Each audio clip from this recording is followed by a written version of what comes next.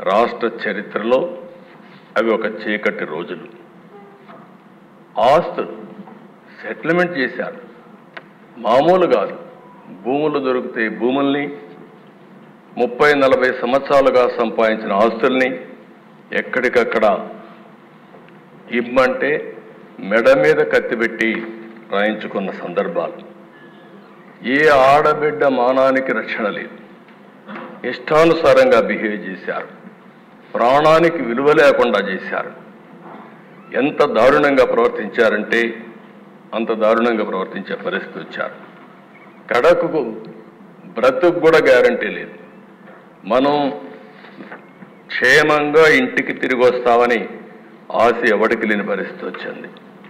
దౌర్జన్యాలు విధ్వంసాలు కబ్జాలు దాడులు కేసులు ఒకటి కాదు దిశ ఎన్ని విధాల ఇబ్బంది పెట్టాలనో ఇక్కడ ఉండే వాళ్ళల్లో సగం మంది ఎక్కువగా బాధి బాధ్యులు బాధితులు కొంతమంది తక్కువగా బాధితులు అంతే.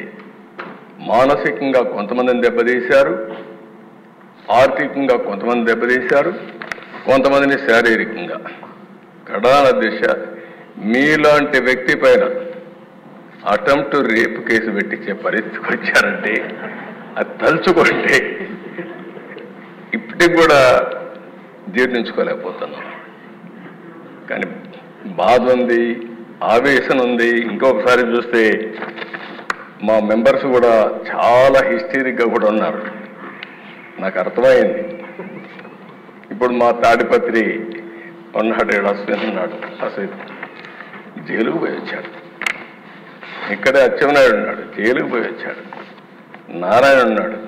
తిప్పి తిప్పి తిప్పి ఎక్కడికెక్కడికో తీసుకుపోయి అదృష్టం బాగుండా అరెస్ట్ కాకుండా జైలుకు పోకుండా బయట వచ్చాడు ఇవన్నీ సరే రఘురామకృష్ణరాజు ఇంకేమవుతాడో తెలియదు. ఆ రోజు రాత్రంతా నిద్ర లేదు. ఆయన కాపాడుకోవడానికి ఎన్ని విధాల ప్రయత్నం చేశామంటే దశ ఆ రాత్రంతా నెక్స్ట్ డే భగవంతుడు మంచి చూపు చూశాడు కాబట్టి బయట వచ్చాడు కానీ ఈ దుర్మార్గులు ఇష్టానుసారంగా ప్రవర్తించే పరిస్థితికి వచ్చారు మనం ఇబ్బందులు పడ్డాం. అర్థం లేనటువంటి పన్నులు వేయడం ఇష్టానుసారంగా బిహేవ్ చేయడం ఉపాధి లేదు ఉద్యోగం లేదు బాధపడని వర్గం లేదు జీవన ప్రమాణాలు దారుణంగా దారుణంగా పడిపోయినాయి. అంతటా అభద్రత అశాంతి ఆందోళన అసంతృప్తి. ఇవన్నీ కలిపే మనకొచ్చిన మెజారిటీస్ ఈ విషయం మనందరం గుర్తుపెట్టుకోవాలి.